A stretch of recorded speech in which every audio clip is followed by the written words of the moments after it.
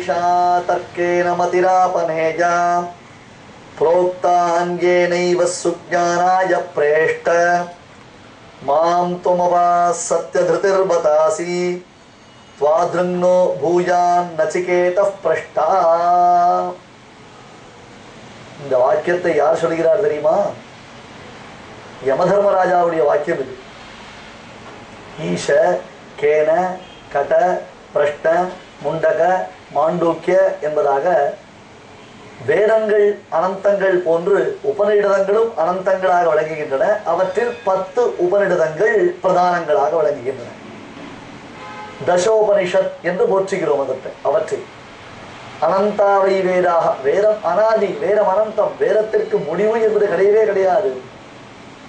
பரத்வாஜர் என்னும் மகரிஷி தவம் செய்தார். இந்திரனிடத்தில் வரம் பெற்றார். நூறு வருடங்கள் எனக்கு ஆயுள் வேண்டும் என்றார் இந்திரன் அளித்தான் மறுபடியும் நூறு வருடங்கள் கழித்து மறுபடியும் தவம் செய்தார். இந்திரன் வந்தான். மறுபடியும் நூறு மூன்றாவது முறை நான்காவது முறை. என்ன ஆயிற்று தெரியுமா? இந்திரன் கேட்டான் சரி சுவாமி மறுபடியும் மறுபடியும் தவம் செய்து ஆயுளை நீட்டித்துக் கொண்டு என்ன செய்கிறீர்? என்று கேட்க பரத்வாஜர் சொன்னார் இந்திரா நான் வேதாத்தியனம் செய்ய வேண்டும் என்று ஆசைப்படுகிறேன் என்றார் அப்பொழுது இந்திரன் மூன்று மலைகளை சிருஷ்டித்தான். அவனுடைய வலிமையினாலே மூன்று மலைகள் சிருட்டிக்கப்பட்டன அந்த மூன்று மலைகளில் இருந்து மூன்று பிடி மண்ணை எடுத்து காண்பித்தான். பரத்வாஜரே உம்முடைய நானூறு வயதில் நீர் அத்தியனம் செய்த வேத பாகம் இவ்வளவு. இனியும் நீர் அறிய வேண்டிய வேதம் மலையளவு. கற்றது கையளவு கல்லாதது மலையளவு என்னும் பழமொழி அங்கே ஆரம்பம். மூன்று மலைகளைப் போன்ற வேதங்கள் அதிலிருந்து மூன்று பிடி பரத்வாஜர் நானூறு வயதில் பெற்றது. எனில் நம்மை போன்றவர்கள் ஆகையால் வேதத்தை அத்தியனம் செய்வது மிக முக்கியம். வேதாங்கங்களை அறிவது மிக முக்கியம். வேதத்தின் மேல்பாகமாக வேதத்தின் சிரோபாகம் என்று போற்றுதலுக்குரியதான அந்த வேதாந்த ஞானத்தை அறிவது அடைவது மிக மிக முக்கியம். அதில் கட்டோபனிஷத் என்பது ஒரு உபனிஷத். வாஜஸ்ரவஸ் என்பவருடைய பிள்ளை நச்சிகேதஸுக்கும் யமதர்மராஜாவுக்கும் நடக்கக்கூடிய உரையாடலாக அமைந்திருக்கிறது முழுக்க முழுக்க முழுக்க வேதாந்த சாஸ்திரம். கீழே கண்ணன் குமதி மகரத் ஆத்ம வித்யாயா சரணரதி பரமஸ்ய தஸ்யமே அஸ்து என்று அறியாமை இருளை அகற்றினான் கண்ணன் என்று பீஷ்மர் போற்றினாரே அதை பார்த்தோம் அல்லவா? அதனை வலியுறுத்தக்கூடிய விஷயமாகத்தான் இப்பொழுது. நைஷா தர்க்கே நமதிராபனேஜா புரோக்தான்யேனைவ சுஜானாய பிரேஷ்ட மாம் துவம் அபா சத்ய திருதிர்பதாசி. நச்சிகேதஸ் என்னும் ஒரு சிறு பிள்ளை யமதர்மராஜாவிடத்தில் கேள்வி கேட்கிறார். அதற்கு யமன் இந்த பதிலை சொல்லுகிறார். மிக பிரியமானவனே பிள்ளாய் சத்தியமானதும் கலக்க முடியாததுமான நிச்சயமான யாதொரு ஞானத்தை நீ அடைய வேண்டும் என்று விரும்புகிறாயோ சத்தியமானது கலக்க முடியாது நிச்சயமானது அத்தகையதொரு மிகச்சிறந்த ஞானத்தை அடைய வேண்டும் என்று நீ விரும்புகிறாயோ ஆத்ம விஷயமான அந்த ஞானம் தர்க்கத்தில் சிறந்தவனாலேயும் அறிய முடியாது. சிறந்த குருவினால் தகுந்த சிஷ்யனுக்கு தெளிந்த மனமுடைய சிஷ்யனுக்கு குருவினிடத்தில் பக்தி கொண்ட சிஷ்யனுக்கு சிறந்த குருவினால் உபதேசிக்கப்பட்டால் ஒழிய இந்த ஆத்ம ஞானத்தை அறிந்துவிட முடியாது. அப்பா நச்சிகேதஸ் உன்னை போன்ற ஒரு சச்சிஷ்யன் எனக்கு கிடைத்திருக்கிறானே நான் என்ன பாக்கியம் செய்தேன் தெரியுமா? குரு சிஷ்யனை கொண்டாடும் இடம் இது. குரு சிஷ்யனை கொண்டாடுகிறார். நச்சிகேதஸ் யமலோகத்திற்கு சென்றதே ஒரு சுவையான சரித்திரம். வாஜஸ்ரவஸ் என்பவர் இவனுடைய தந்தையார். அவர் ஒரு யாகம் செய்தார். யாகம் செய்வதனுடைய நோக்கம் நற்கதிக்காக மேன்மைக்காக. ஆனால் வாஜஸ்ரவஸ் செய்த யாகத்தின் நோக்கம் தாம்பீகத்திற்காக. யாகத்தில் தானங்கள் கொடுக்க வேண்டுமே தட்சிணைகள் கொடுக்க வேண்டுமே செல்லா காசுகளை தட்சிணையாக அளித்தார் கிழிந்த வஸ்திரங்களை தானமாக அளித்தார் இனி தங்கள் ஆயுளில் புல்லை மேயாது தண்ணீர் குடிக்காது பற்கள் இறுகிவிட்டன வாய் திறக்க முடியாது என்னும் நிலையில் எலும்பும் தோலுமாக இருக்கக்கூடிய பசுக்களை பிராமணர்களுக்கு தானம் செய்தார் செய்யலாமா? தானம் செய்வதனுடைய நோக்கம் ஒரு சிலர் வழக்கம் வைத்துக் கொண்டிருக்கிறார்கள். தங்கள் இல்லத்தில் எவையவை தேவையற்ற பொருள்களோ அவற்றை மற்றவர்களுக்கு தானமளித்து விடுவது? இந்த கதை உங்கள் உள்ளத்தில் இருந்தது என்றால் உங்கள் கை அந்த பொருளில் இனிப்படாது இதை வாஜஸ்ரவசனுடைய பிள்ளை நச்சிகேத் அருகில் இருந்து பார்த்துக் கொண்டிருக்கிறான். ஏன் தந்தையார் இது போன்று தவறான காரியத்தை செய்து வருகிறார்? நல்ல யாகத்தில் நல்ல பிராமணர்கள் மகான்கள் வேத விற்பனர்கள் வந்திருக்கும் பொழுது நிறைய அவருக்கு பொன்னையும் பொருளையும் கொடுத்து சந்தோஷப்படுத்தினால் அன்றோ வேதத்தை சொல்லி ஆசீர்வாதம் செய்து நம்மை அனுகிரகம் செய்வார்கள். அதனால் நமக்கு மென்மேலும் நன்மை உண்டாகுமே. அதை விடுத்து உபயோகமற்ற பொருளை எல்லாம் தம் தந்தையார் தானமளிக்கிறாரே என்று நினைத்தவராக நச்சிகேதஸ் தந்தையிடத்தில் சென்று தந்தையே என்னை யாருக்கு அளிக்கப் போகிறீர்கள்? என்னை யாருக்கு அளிக்கப் போகிறீர்கள்?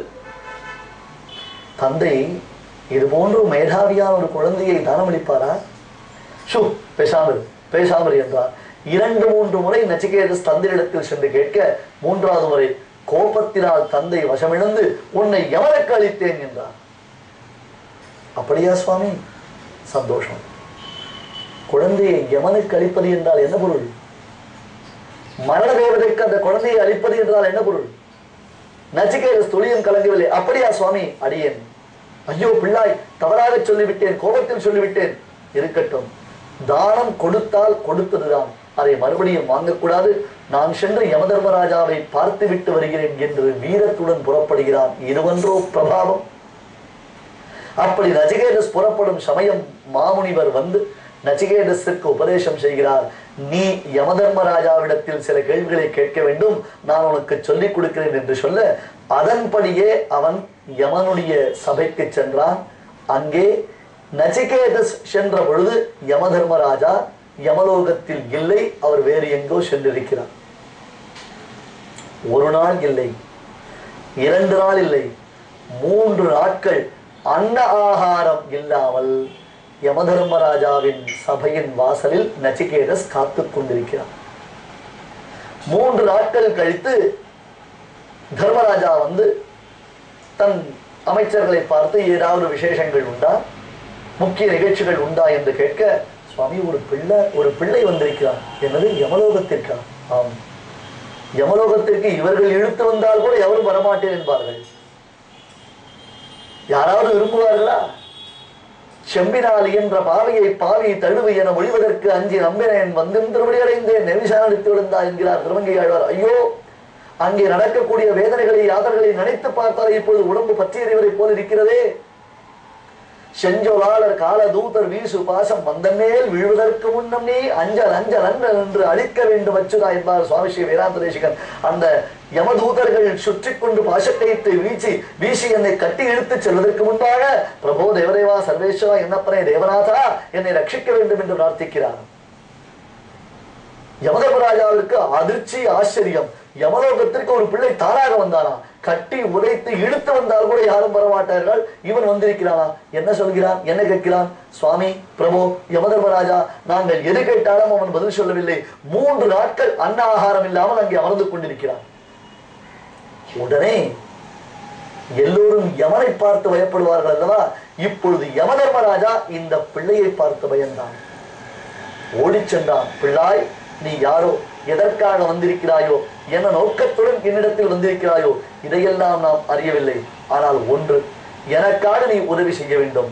மூன்று நாட்கள் என் இல்லத்தில் நீ பட்டினியாக ஒரு துளி தண்ணீர் அருந்தாமல் இருந்திருக்கிறாயே இந்த பாபம் எனக்கு ஏற்படக்கூடாது என்பதாக நீ முதலில் வரம் தந்தால் அதன் பின்னர் நீ என்ன கேட்டாலும் உனக்கு சொல்வதற்கு தயாராக இருக்கிறேன். யார்?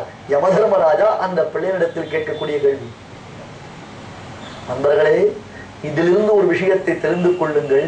நம் இல்லத்திற்கு அதிதியாக விருந்தாளியாக ஒருவர் வந்து ஒருவேளை நம் இல்லத்தில் அவர் பட்டினியாக இருந்தால் அது பெரும் பாபம். ஏனென்றால் எல்லோரும் பார்த்து பயப்படக்கூடிய யமதர்மராஜாவே இந்த பாபத்தை பார்த்து பயந்திருக்கிறார் என்றால் இது எத்தகைய கொடியது என்பதை நாம் உணர வேண்டும். இந்த கதையில் வேதாந்த விஷயமாக அறிய வேண்டிய அம்சங்கள் அநேகம் உண்டு. ஆனாலும் சற்றே அறிய அவற்றையெல்லாம் மாற்றி எல்லோரும் இதன் தத்துவத்தை புரிந்து கொள்ள வேண்டும் என்னும் நோக்கத்தில் சொல்லி வருகிறேன். உண்மையில் இதை வேதாந்த விஷயமாக விவரிக்க வந்தால் இதன் பொருளே வேறமாகத்தான் இருக்கும். மூன்று நாட்கள் என்னுடைய இல்லத்தில் நீ பட்டினியாக இருந்தாய் அல்லவா? இந்த பாபம் எனக்கு நேரிடக்கூடாது. அதை எவன் கேட்கிறான்?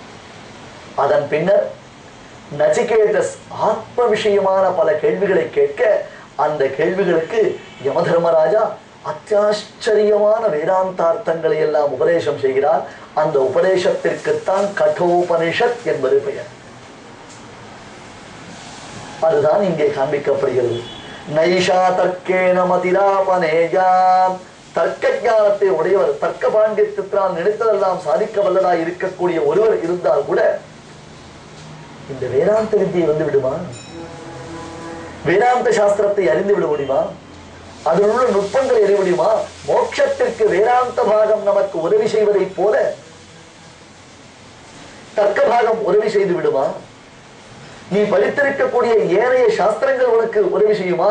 சுமையான கல்விகள் சூழ வந்தாலும் தொகைவை என்று என்பார் சுவாமி வேதாந்த ரிஷிகம் நைஷா தர்க்கே நமதிராமனேயா ஐயா மிகவும் பிரியமானவனே சத்தியமானதும் கலக்க முடியாததுமான நிச்சயமான யாதொரு ஞானத்தை அடைய நீ உறுதி கொண்டிருக்கிறாயோ?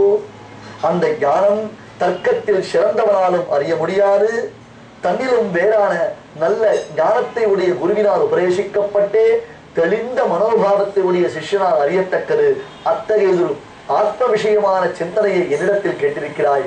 பிள்ளாய் உன்னை போல ஒரு சிஷ்யன் எனக்கு கிடைத்ததற்கு நான் என்ன பாக்கியம் செய்திருக்கிறனோ தெரியவில்லை என்கிறார். இப்படித்தான் குருவும் சிஷ்யனும் இருக்க வேண்டும். இந்த அர்த்தங்களைத்தான் மனதில் தேக்கி வைத்து கண்ணன் தத்வித்தி பிரணிபாதேன பரிப்பிரஷ்டேன சேவையா என்று அர்ஜுனனுக்கு உரைப்பதை போல நமக்கு உரைக்கும்படி உரைத்திருக்கிறான். ஆகையால் கீதாச்சாரியனாம் கண்ணனாம் ஆதிகுருவை நாம் வணங்கி அருள் பெறுகின்றோம்.